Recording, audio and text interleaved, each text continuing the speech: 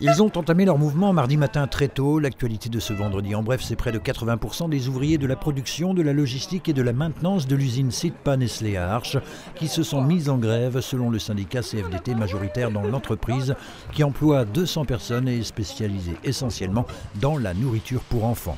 Ce vendredi, une réunion devait avoir lieu entre les représentants du personnel et la direction, les revendications portant justement sur un dialogue jugé inexistant, mais aussi sur de meilleures conditions de travail qui, selon la CFDT toujours, se sont considérablement détériorées. Enfin, sur une hausse des salaires, les grévistes veulent une augmentation de 7%. La direction proposerait 4,5%.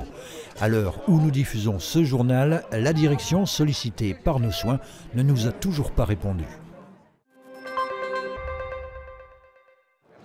Fuel, bois, gaz, électricité, à l'heure où le coût de l'énergie a littéralement flambé, pourquoi ne pas investir sur de nouveaux modes de chauffage, sur l'isolation ou même la rénovation, mais avec quelles aides financières? Autant de questions que se posent de nombreux particuliers.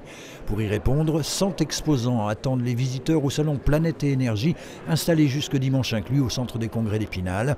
Pour tout savoir sur les matériaux biosourcés, le photovoltaïque ou encore les pompes à chaleur et autres poêles à granulés. Notre émission L'Hebdo reviendra plus en détail sur le salon Planète et Énergie samedi à partir de 18h.